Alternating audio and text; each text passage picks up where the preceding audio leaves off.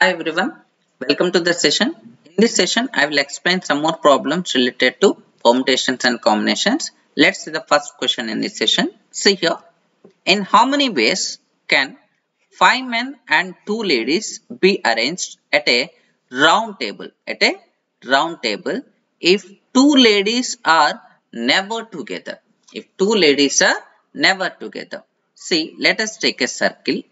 Here this is a circle and uh, we need to arrange uh, these seven members, five men and uh, two ladies. five men and two ladies.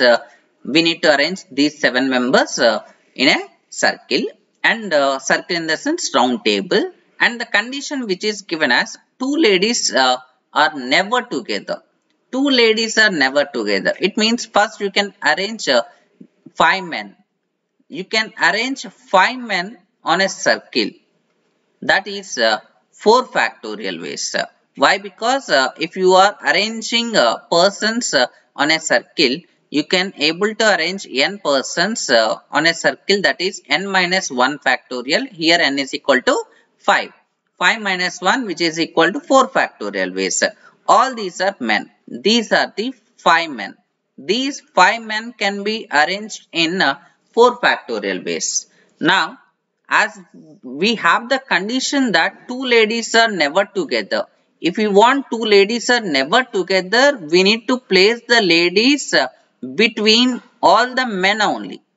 Here we, between the men we have total 5 positions. 1, 2, 3, 4, 5. These are the 5 positions which are left over and we need to arrange uh, two ladies in these uh, 5 positions arranging two members uh, out of uh, five places that is 5p2 ways. Now the required answer is uh, 4 factorial into 5p2. Here 4 factorial is nothing but uh, 24 and 5p2 means 5 into 4. Here this value is 20. 20 into 24.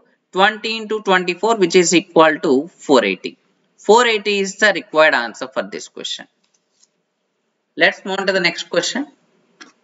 See here, in how many ways six boys be arranged at a round table so that two particular boys uh, are always together.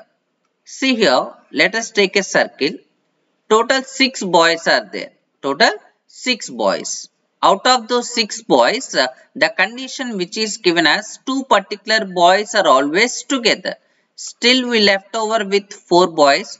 4 plus we need to take these two boys as single entity. Why? Because uh, these two boys are always uh, together. Whenever we are select, uh, we are taking these two as single entity. Four boys, remaining four boys plus one single entity, five members.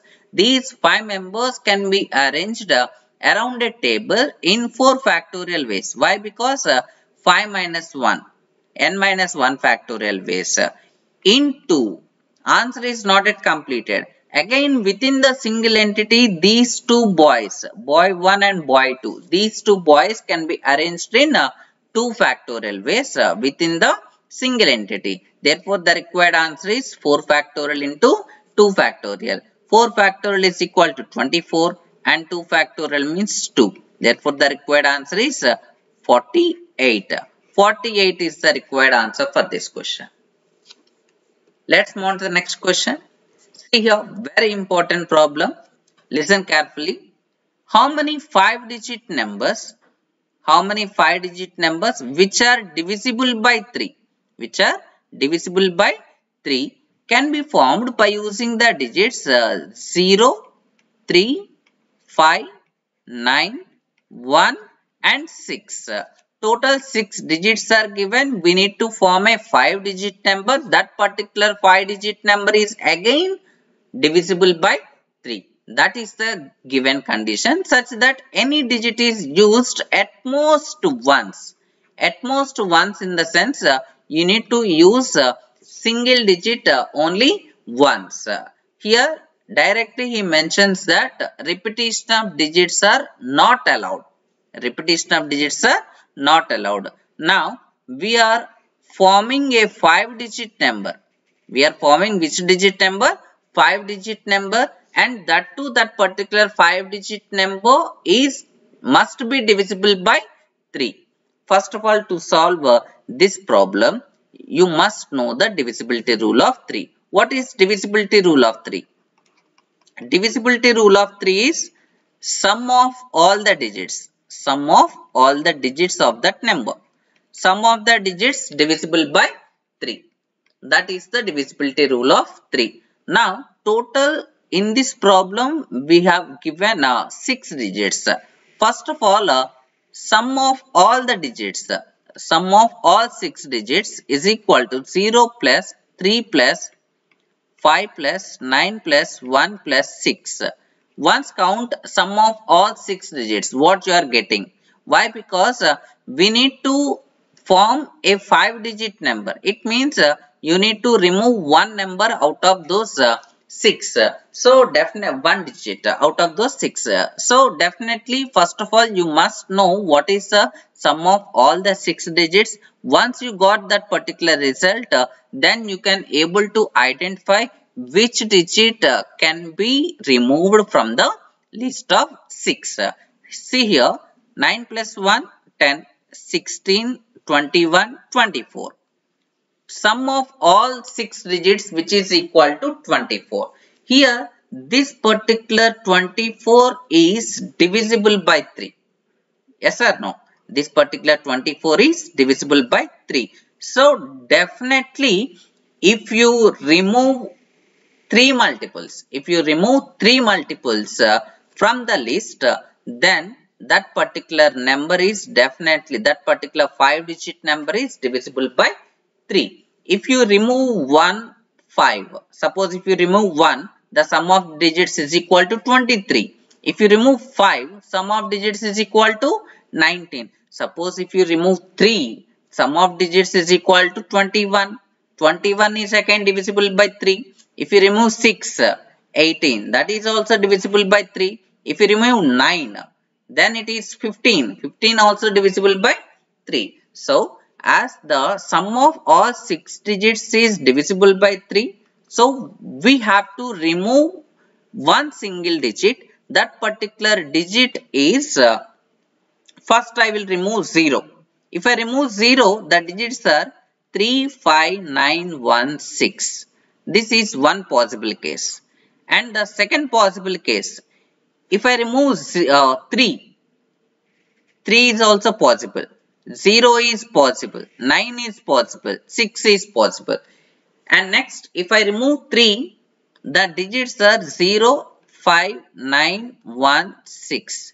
Next, if I remove 9, the digits are 0, 3, 5, 1, 6. And next, if I remove 6, the digits are 0, 3, 5, 9, 1. These are the digits. Now, you can arrange uh, these 5 digits in 5 places. Here we have 5 places. 5 places and 5 digits are there and among those 5 digits we don't have 0.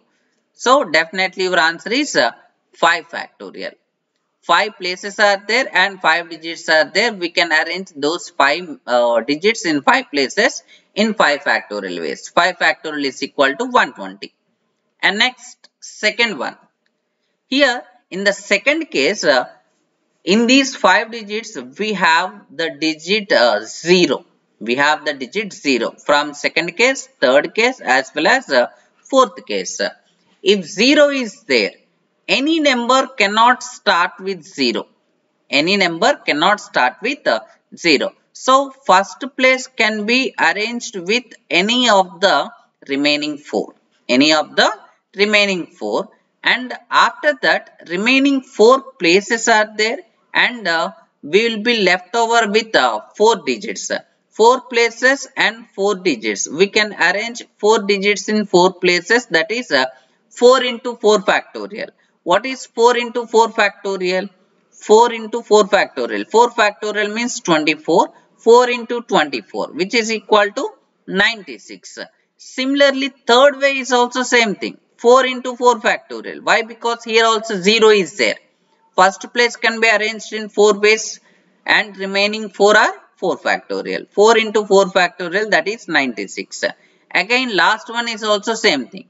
4 into 4 factorial which will gives you 96. After that you can add all the values. Here it is 18 and next uh, here it is 27 plus 3 30 and next uh, 3 plus 1 4. 4 not 8. Total 4 not 8 uh, 5 digit numbers are formed which are divisible by 3 by using the digits 0, 3, 5, 9, 1 and uh, 6. and uh, the condition is we have to use each and every digit only once. Uh, max at most once in the sense maximum 1. Guys, I hope you understand the session. Thank you. Thank you very much for watching.